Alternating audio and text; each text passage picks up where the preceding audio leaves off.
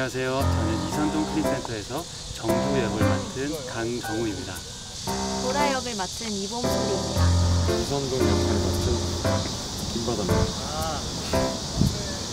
저희는 지금 이선동 클린센터 네, 프로필 촬영 현장에 나와 있고요. 엄청 이 푸르른 녹음 밑에서 저희가 함께 즐겁게 촬영하고 있습니다. 네, 좋아요. 진짜요? 네.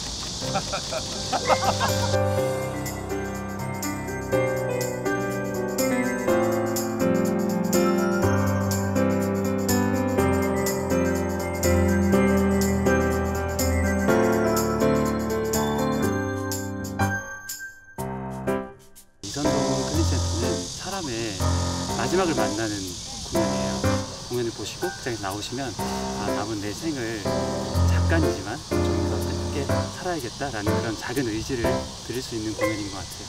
따뜻하기도 하고 남녀노소 누가 와서 보셔도 재밌게 볼 수 있는 작품이기도 하고요. 또 약간의 오싹함 이런 것도 느끼실 수도 있지 않을까. 왜냐면 제가 죽은 영혼들을 보게 되는 맡거